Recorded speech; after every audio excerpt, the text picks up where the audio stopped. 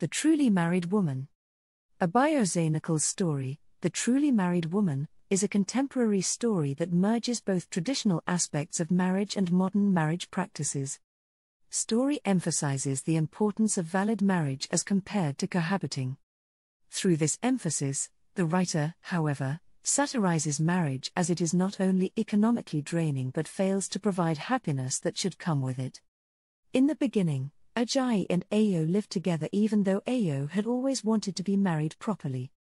While Ayo tries to course Ajayi to marry her indeed, Ajayi is hesitant as he feels that marriage involves some wild spending and the ceremony is unnecessarily costly.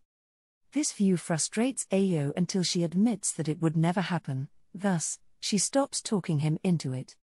Their time together appears relatively amicable as Ayo performs her wifely duties faithfully.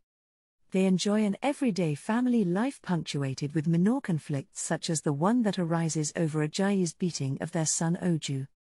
This conflict surprises Ajayi as Ayo rarely ever disagreed with him.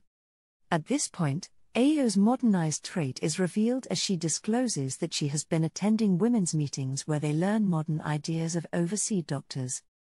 Ajayi spends his day in the office thinking about this revelation, which makes him admire Ayo the more. As the closing hours approach, Ajayi receives an unexpected guest missionaries from World Gospel Crusading Alliance. He remembers that he had contacted them with the hope of getting free Bibles, religious pictures, and maybe some magazines. However, the missionaries are set on enrolling him as one of them, but the chief clerk saves him by explaining that it was prohibited for government workers. He invites the team with the chief to his home, where the wife reorganizes the house after learning that guests are on their way. She even borrows a wedding ring from a neighbor. After the missionary's visit, Ajayi tells Ayo that he plans to marry her. Although she is shocked, Ayo welcomes the marriage and thus starts preparing for it. Ironically, she turns down his sexual advances that evening, arguing that it would be incorrect. She moves back to her parental home, where the traditional marriage preparation practices are carried out. Soon, the church wedding ceremony takes place. Ayo chooses to dress in a grey dress instead of the traditional white one as Ayaji had wished. The grey dress is symbolic of her impurity since she is already a mother of three.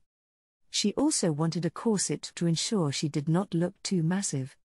After the church wedding, a European ceremony is also conducted where a wedding cake is cut. Ajayi notices that Ayo had been transformed after the wedding. He saw her proud head for the first time, and true to his observation, the following day, Ayo does not wake up early to prepare his morning tea like she always did. The story ends with Ayo's declaration to Ajayi she was now a genuinely married woman who needed a little more respect and thus would not arise to prepare a cup of tea for the husband.